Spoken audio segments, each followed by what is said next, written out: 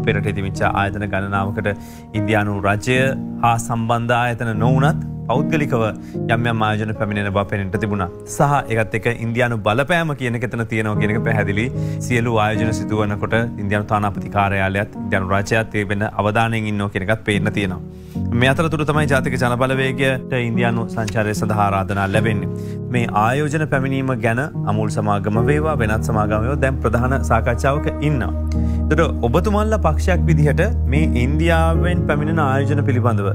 ප්‍රතිචාරය දක්වන්නේ කොයි විදිර දෙකැන් මේක සුභවාදීද සූදානම් දිදිරයට යන්න මම ඉන්දයානු ආයෝජන ගැන කතාවට එන්න ඉස්සල්ලා රටකට ආයෝජන අවශ්‍ය ඇයි සහ මේගේ මේ වපසරිය පොඩ්ඩක් පැහැදිලි කරලින්නම් දියුණු වෙමින් පවතින රටවල් හැම එකටම ණය විදියට හෝ රිජු විදේශායෝජන විදියට වෙනත් දියුණු රටවල් වලින් ආයෝජනය නවා ඒ විදියට තමයි ලෝක රටවල් දියුණුනේ. නමුත් මේ සටහනේ තියෙන්නේ ලංකාව එක්දසමසේ හැත්ත හතෙන් පස්ස විවෘතාර්ථිකය ආරංආට පස්සේ එදා මෙදා තුර ලංකාවට ඇවිල්ල තියෙන රජු විදේශායෝජන චතුර ඇවිල්ල තියෙන බිලියන විස්සයි. එතකොට ඒක ලංකාවට විස්සක් කෙනකොට දෙදාහින්දල වියට්නාමයට එකසිය හැත්ත ඇටක් ඇවිල්ල තියෙනවා දකුණු කොරියාවට තුන්සිය තිස්තුනක් ඇවිල්ල තියෙන. එතකොට ලංකාවේ මොකක් හරි අඩුපාඩුවක් තිබිල තියෙනවා මේ රිජු විදේශායෝජන කැඳවාගන්න නැතිවෙන්. බිලිය නසූ දෙකක නය ආයෝජන ගෙනාවට අපිට රිජු විදේශ ආයෝජන ගේන් හේතු වලට අවශ්‍ය කරන ආයෝජන අපිට ඇවිල්ලන එක අපි කර්මාන්තයක් අලුතෙන් පටන්ගන්න තියෙන කර්මාන්තයක් නගා සිටවන්න. එහෙම නැත්තං අපි පෞද්ගලි කරණය කරනකොට දැම් මේ දැන් සිද්ධ වෙනවාගේ පෞද්ගලි කරණයේදී රාජ්‍ය පෞද්ගලික ඒකාබද්ධ ආයෝජනයක් වෙන්න පුළුවන්. එහෙම නැත්තන් සම්පූර්ණයෙන් රාජ්‍යායතනයක් මිලදී ගැනීමට වෙන්න පුළුවන්. ඒවගේ අපේ සංවර්ධන කටයුතු ගත්තොත්තේ ඉන්ෆාස්ට්‍රක්ෂ යටිතල පහසුකන් දියුණු කිරීම සඳහා රාජ්‍ය පෞද්ගලික සහභාගිත්වයෙන් හෝ අලුත් ආයෝජන විදියට එන්න පුළුවන් නමුත් මේ විදේශ ආයෝජන ගෙන්වා ගැනීම පිළිබඳ අපිට ජාතික වැඩ පිළිලක් තිබෙනෑ සහ ජාතික සැලස්මක් තිබෙනෑ කියන එක අපි මුලින් දැනගන්න. තොර මේ විදේශ ආයෝජන විශේෂයෙන්ම රාජ්‍යායතනවලට එන එක ගැන තමයි චතුර මේ සංවාදය තියෙන්. එකන්න ඉන්දියාව හෝ වෙනත් රටක් හෝ පකිස්ථානය හෝ මාලදවෙන හෝ මොනම රටක් ඇවිල් අපේ රටේ හොටෙල්ල එකක් ආයෝජනය කරනවට අපිට ගැටලුවක් නෑ. අයිට කර්මාන්තේ ආයෝජනය කරනවට අලුත් කර්මාන්තල ආයෝජන කරනවට සාකච්ඡාවක් ඇතිවෙන්නේ. මේ සාකච්ඡා හැමතිස්සම ඇතිවෙන්නේ රාජ්‍ය ව්‍යවසායකත්වල ආයෝජනය කරන. ලංකා රාජ්‍ය ව්‍යවසායකත්වල ආයෝජනය කරන්න හේතුව තමයි ලංකාවේ රාජ්‍ය ව්‍යවසායකත්ව අකර්මණ්‍ය වෙලා තියෙන පහුගේ අවුරුදු ටිහ ඇතුළත ඒවාගේ අවශ්‍ය කාර්භාරය හරියට කරගන්නතු කාරක්ෂම දවාගන්න බැරුව රාජ්‍ය බලකෙන් දේශපාලන බලපෑම් නිසා මේ අකර්මණ්‍ය වෙලා තියෙනවා. එතකොට අපි මේක දකින්නේ මෙන්න මේ විදිහට.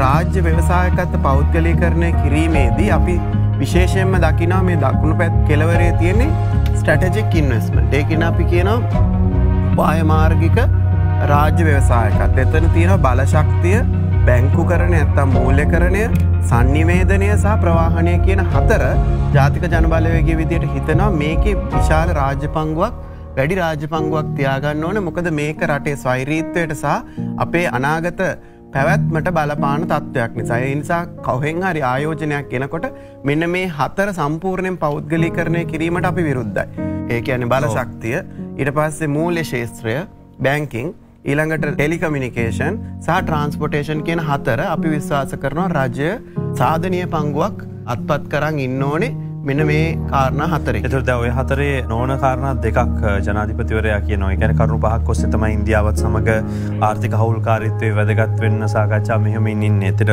සමුද්‍රීය ගුවන් බලශක්තිසා විදුලි බල සම්බන්ධෙන් වෙළඳ ආර්ථික සහ මූල්‍ය කටයුතු සම්බන්ධය තමයි දැනට මේ සාකච්ඡාව රජය ගෙනියනවා කියලා කිව්වේ. දැ මෙතන කියන විදිර කාරණ තුනක් සම්බන්ධයම දැන්ට රජය බුතුමල සංවේදී කන කාරණ පිළිබඳව ඔවුන් අවුල්කාර ටෝලිං ෂයක තිය ටෝලිං ෂයක අපිගත්තු එනජි සෙක්ට එක.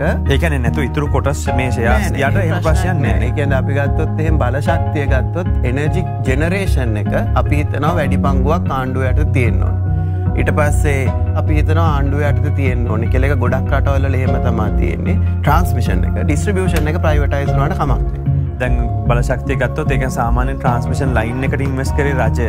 ඉත් පසුව තමයි වෙන රටවල මේක දීලා තියෙන නමුත් අපේ රටේ එහෙම නැහැ නේද? ඔබතුමා කියන්නේ එතකොට ට්‍රන්ස්මිෂන් එක රජයට තියාගන්න ඕනේ කියන එක තමයි අපි කියන්නේ හැබැයි ඒ ලයින්ස් වෙනම දුන්නට ප්‍රශ්නයක් නැ දෙකන් පෞද්ගලිකාංශයට දෙනවා නන්ගේ මේන්ටෙන් කරගෙන කරගෙන යන්න. එතනද අපිට බල ඒක පුළුවන්. ඇබැයි ජෙනරේෂන් එක තම අපි විශේෂයෙන්ම අවධානයම් කන විශේෂෙන් පුනර්ජනනය බල ශක්තිය ගත්තොත් චතුර ඒකට නොනවතින විභවයක්තිය ඒ නිසා අපිට එතන වැදගත්කමත්තින තුර මේ නන් සටජික්කේ වගේ අපිට පුළුවන් මේ රෙවනිියව ජෙනරේෂන් ඒවට මොකද කරන්න? එක ආදාය උපාදනය වෙනවට මොද කරන පාඩු ලබනවට මොනාද කරන්න කියලා බලන්න.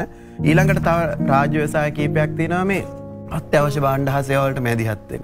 ඒව අපි හිතනවා වෙළඳපල කාරක්ෂම නැති නිසා රජයේ ඒවගේ ඉන්න ඕනි කියන එකත් ප්‍රශස්ත පැහැදිලි කිරීමක් ඔබතුමා මේ ඇතරම කරන්න මේ ජාතික ජන බලවේගේ විදිහට කොතනද ඉන්න කියන එක සහ දැම මේ පෞද්ගලි කරණය කිරීම සානිකෝ කාරණ ගැන ඔබතුමා ඉදිරිපත් කිරීමත් එක යම් කිසි ඉතාමත්ම සාධනය තැනකට පුළුල් තැනකට ඇවිල්ල තිනෝ කියල පේනවා. නම තුරතිය සමති ව්‍යාපාරය විදිහට ඔවුන්ගේ අදහස් දැක්වීම මාධ්‍ය දකිනකට දකින්න මිට ටික පසුගාමි තත්වන්නේ එහෙම නෑ මේක දෙනවා මෙන්න බිල්ලාව වගේ පොඩි එහෙම තත්ව ඒකට මේ දෙක හේතු කියන්න ඒකට හේතුව තමයි මෙන්න මේ කාරණය තුර ලෝකේ ලංකා විතරක් නෙවේ පෞද්ගලි කරන කරණය වෙන්න පටන්ගත් එක් දසමසි අසුව ඉඳලා ලෝක හැමරටක්ම සැටජික් ඒවත් යම්කිසි ප්‍රමාණයකට පෞද්ගලි කරණය කරගෙන ආව හැබැයි මේ පෞද්ගලි කරණයේදී අපිට තියෙනවා කාරණා කීපයක් බලන්න එකක් තමයි මේ රාජ්‍ය ව්‍යවසායකත්තේ ජාතික අරමුණ මොකක්ද කියලා. තුරේ ජාතික අරමුණ මුදුන්පත් පමුණ ගන්න පෞද්ගලි කරණයෙන් වාසියක් වෙනවන අපිට එතන සාධනය බලන්න පුළුවන්.